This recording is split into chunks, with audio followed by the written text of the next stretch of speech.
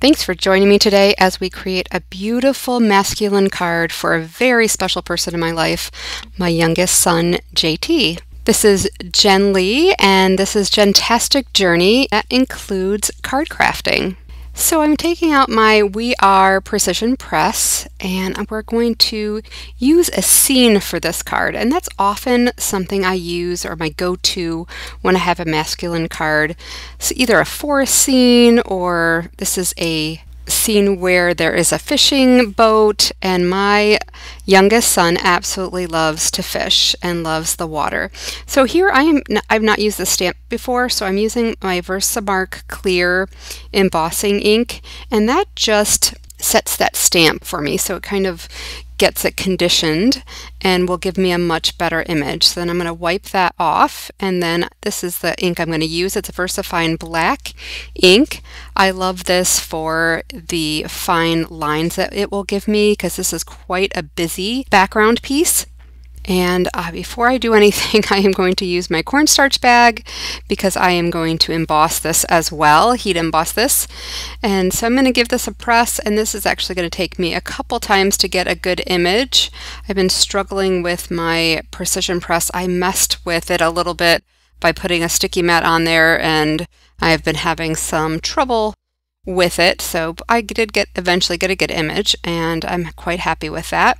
And then I'm going to use some Stampin' Up! clear embossing powder. This is fine embossing powder. And that's going to allow me to set this and also I'll be able to then color the image and that's what my plan is for today. So I'm going to preheat my heat gun and that's very important because it just makes it go a little bit faster and it's a little bit less warping. I use this metal pan because it prevents the paper from warping because it kind of heats it from both sides. All right, so I'm very happy with that image. I'm going to use my woodless watercolor pencils. In this scenario, I'm just going to get some color on the paper and then we'll bring out some paintbrushes and we will paint this or at least move around the color. So it's got a nice water scene. My son absolutely loves anything to do with the water. I believe that at some point in his life he's probably going to live on a lake because he just loves anything to do with water sports and fishing and just is his happiest when he's got a fishing pole in his hand or is doing something on the water. So this was a perfect scene for him. And again, I'm just getting some different greens down here and then later when I use my paintbrushes, I'll be able to blend that in and so this is the lightest of the greens, and then I'll put a darker green. I'm also putting a little bit of green into the water. That way I can distinguish the water from the sky. And then here I'm doing a very, very light job on the sky, just having a little bit of blue up there. Back to the green, I'm going to put some more green colors in these trees. There's some background trees and some background ground as well. And I sped this up pretty significantly because you guys get the point. I'm just trying to get some color down. Now I use an old candy container that uh, had like those round ball chocolates and I use that, I spray water in there and then I pulled out a bunch of my different paint brushes and we're going to make this work. So I took out my sticky mat because I like this to kind of sit down and not move around when I'm trying to paint it. Starting off, I realized that I didn't do a very good job of cleaning off my paint brushes last time I used them, but it's going to work out just fine. I'm using this one for the browns in that little boat and I did actually make two images of this stamp. I'm going to impose another layer on top of that boat so that we can have a more 3D effect with the boat. And I'll do that later on. So here I'm just moving that color around. I don't have a lot of water on my paintbrush. It's just moving that around, making it look a little bit like a watercolor print. And all those different colors I had in there are blending nicely. And now I'm going to work on the sky. And I thought that I had used my watercolor paper here It's just a card front, and I thought it was a watercolor card front, but I soon realized that it is not. And because I'm putting so much water on here and rubbing it and rubbing it, rubbing it, I am going to eventually oversaturate this paper and it's not going to work out. But there's always things you can do when you have this situation. I'm going to try and fix it, but I'm actually going to make it worse here. I decided to take out my Distress Oxide and try and put some color on there and you can see where it's starting to just shred that paper a little bit. And that's when I'm going hmm definitely not my watercolor paper. So should have checked that to begin with. And I just have a box that I have call it card fronts. And I thought that this card front was one of the watercolor ones but it's not. And we'll we'll take care of it later. I'm just going to probably cut that part off. I do keep going and keep trying to have different things happen with the sky part but you'll see eventually I give up. And that's the beauty of this. Nobody needs to know that I spent a bunch of time on the sky when it didn't actually work out. So here I'm just going to use all these little reeds. I like this greenish yellow color for that. And it's a really pretty scene, quite serene. I am enjoying this quite a bit. And then this water, I turned it into this teal color. It's got a little bit of blue in there, and then I used a teal color as well. So I think that came out really pretty. And again, I sped this up pretty significantly. These watercolor pencils are fantastic if you aren't really great at watercolors, but you like the look. So here I try and maybe put some clouds in here because I just didn't like how streaky it looked and I was trying to detract from the fact that I'd ruined some of the paper. But then I used a paintbrush that had some green on it and so just was adding more problems than I was helping there. It didn't end up looking too terrible, but you can see that paper is pretty wet and I'm using my guillotine just more to measure because this paper's pretty wet. It's not going to cut well. So I'm just using this to measure some things. You know, I don't love to measure, but I do want this to be a 5 by 7 card base, so I'm cutting this down a little bit so it'll fit. I'm going to mat it as well on some brown paper, but that's what I have so far. And this is the brown. I want to put it on, and here's where you can see I really caused a problem when I tried to tape and that top part is so wet that it just tore that paper. So I end up cutting that top part off and then I'm looking for a piece of paper that will act as the sky. And I have plenty of paper and found several that I liked. Then I'm going to just trim this down a little bit more so we can get all the white off of there. And this paper's dried quite a bit since then. Okay, and I ended up deciding on this piece of paper because I really liked how it looked golden and then went into the blue and I thought that it didn't take away so much from that boat that I want to be my focal point. So I'm going to make a couple marks on here and we'll cut down this paper a little bit and that'll just be a nice matting layer and it'll bring out that boat again which I want to be my focal image. So I'm going to put a tape runner all over this matting layer and then I have a white card base. Later I will put something on the inside of it, but I really like how this will all come together.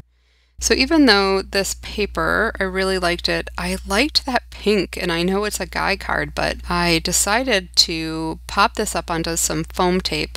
But you'll see I'm going to let a little of that pink show through, and it just kind of acts as a mat. And here I am with my heavy foam tape. Any of those of you that have watched my channel before I do like to be heavy on my foam tape because I do put all of my cards, most of my cards through the mail, and this one is no different, so I wanted to make sure that we don't have any weird puckering or anything like that. Alright, and I was struggling with this because I had popped it on there and then decided to trim it down, but I got some of it trimmed and then I'll just use my long bladed Tim Holtz scissors to cut the rest. And see how that little teeny bit of pink, I just think that did something for it. These are my happy birthday dies. I have quite a few of them because I seem to make mostly happy birthday cards. So I'm choosing which one will look best on here. I've got some big ones and I do want something that's kind of masculine. I thought it was going to be this one that's kind of a retro kind of one and I thought it was a little bit too much. I try a few more, I go back to this one again, but then ultimately decide to keep trying. And so I pull out this one, and this is, it's like perfect because it fits that space really well, and it's not so scripty where it's going to be not as masculine. So I decided to use that same brown paper. You'll see I make a mistake here. I don't tape it down, and you see that I'm going to cut this poorly But it's okay. I hold on to that piece and then I did it did it again and the second one came out much better. And we'll actually end up using both of them later on, so it won't be a total loss. And then I always just stick extras in the back of my die cutting those plastic bags that way in case I need something later on really quick I can pull from that. So here just trying to get all the little bits out and this is a two part die set so there's the shadow to it and then this one so I decided to use the same paper pack and make a very bright happy birthday out of this and I thought that would be nice for the inside and then I'd use the brown as the shadow piece. So just going to push all these out and I always use my, it seems like this tool is best for this because my poker tool is almost too wide and so my tweezers do the best with this. So just, it's a very delicate die, so I'm going to work very gently with this, and you'll see that this shadow I need to pull out all the other or pull in all the other pieces. If I'm going to use that as the shadow then I was like maybe I won't use it as a shadow. Then I was like maybe I'll have as more like of a, a true little offset. Or do I want the whole thing? And I'd have to pull out all the little pieces. I didn't throw them away so you'd have to fill all those in. And I was like, I just don't think I like it. So then I was like, maybe I will use these two pieces, the one that I did initially that didn't come out perfect, and then the second one, and maybe I would just layer those on top and just do that. I figured I would do something with just these pieces, and I'd layer them up. So here I'm using my Bearly Art Precision Craft Glue. It's my favorite glue when I have these little precise pieces. And yes, you can certainly cut out with some double-sided adhesive sheets. I just always, I never know what I'm going to do. It's always an afterthought for me, so I'm just as happy to use my glue.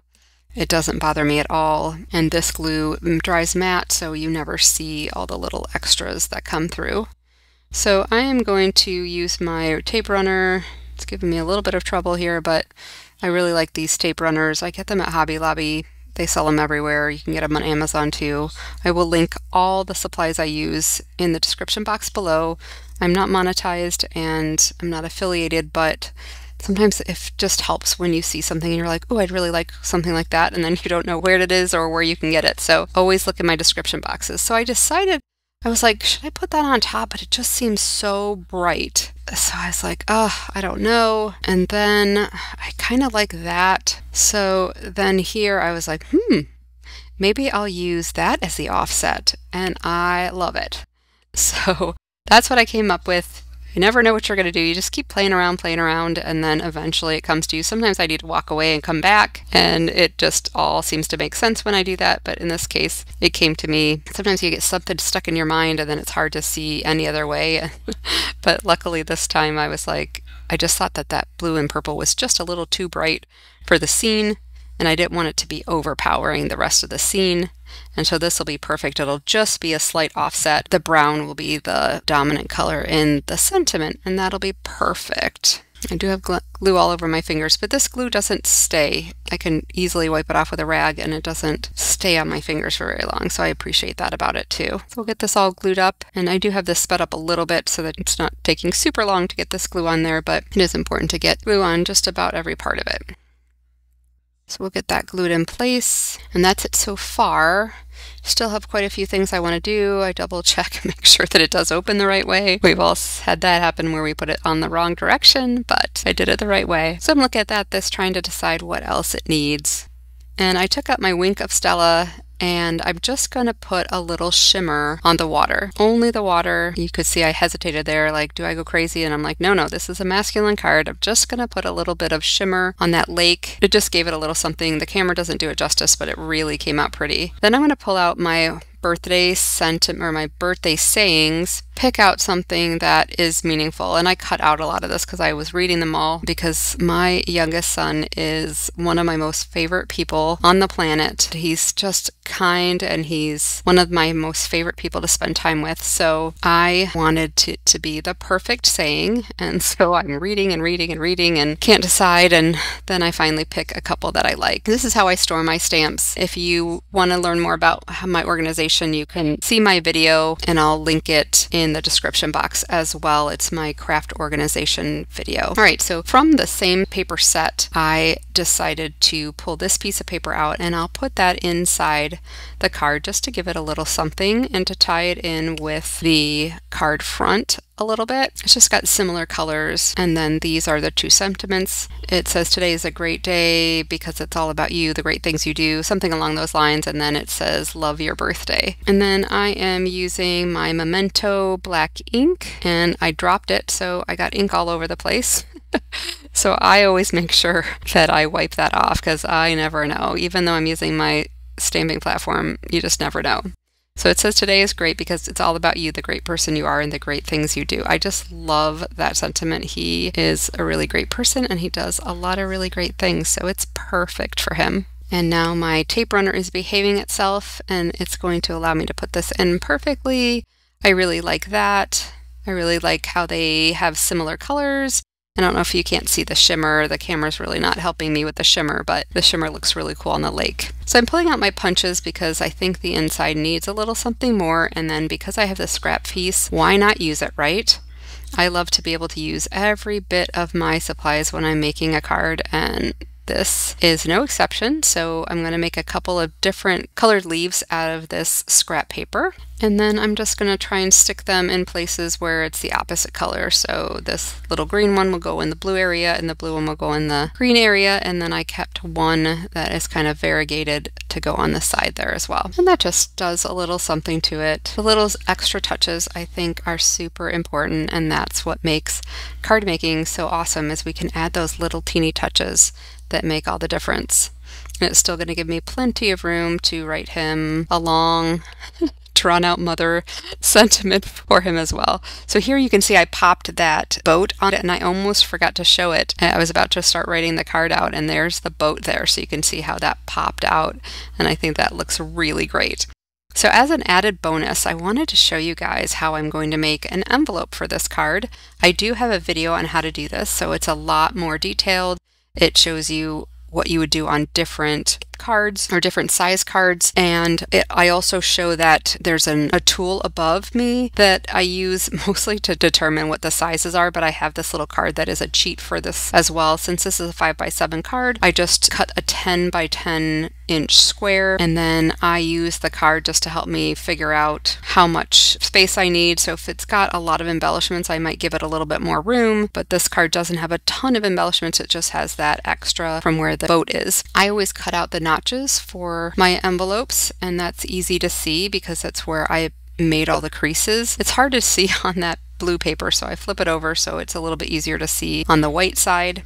And then again, I keep that piece in there. It's it is a five by seven inch pretend card, and I just put that in there because it makes it super easy. I'm not a big measure as you guys know so the less measuring I can do the better. And so here I'm just cutting out the other two notches making sure I just had enough space. And then we'll fold it, fold it all in together two inside flaps. And then I always cut this straight across and it just looks more finished so you can see here, that just looks a little bit more finished. And then instead of that pointy tip for the part of the envelope, I decide to corner around that with my punch. I always flip my punches over because I want to make sure that they get in the right little notch there. And then I'm just using double-sided tape to close this off. Now one thing I did wrong here is you really just put the double-sided tape on either side and not in the middle. And I just was distracted and just kept going. And so I did put it in the middle. There's nothing for it to adhere to, so it could adhere to your card. So once I realized that, I just put the backing back on the tape and it was good to go and nobody will ever see it, so it's fine. So you see here, I took it off, but then I'll put it back on later. Otherwise, that sticky part will get onto the card. So that is the card and the envelope and then I'm stamping my Handmade with Love by Jentastic Journey on the back of it and it's all done. Thanks for sticking this out with me. This is a long video for a very special card. Please click the like button if you enjoyed this content. Also, if you haven't already, please subscribe to my channel. It's a small channel and I appreciate all the subscriptions and love your likes and please share this out if you think somebody else might enjoy this. I'll see you in the next card making video.